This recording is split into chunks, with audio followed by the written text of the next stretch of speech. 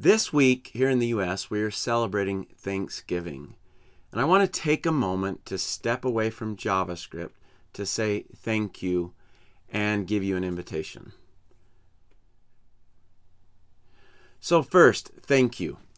Thanks to all of you that have subscribed and watched my videos. Special thanks to those that contribute and provide comments. It keeps me doing this, and I truly enjoy teaching about JavaScript. So, thank you. Second, my invitation. This time of year kicks off the holiday season. And no matter the beliefs you have or the holidays you celebrate, as a part of this holiday season, I want to invite you to make the world a better place by serving and helping others.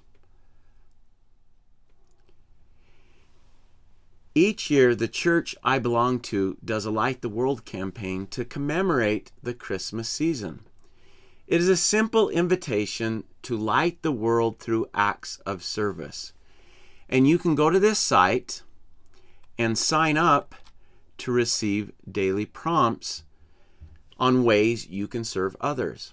I've found it has really helped me to look outside myself and try to serve others. So I would invite you to participate and let's make the world a better place by serving those around us. And once again, thanks for your ongoing support.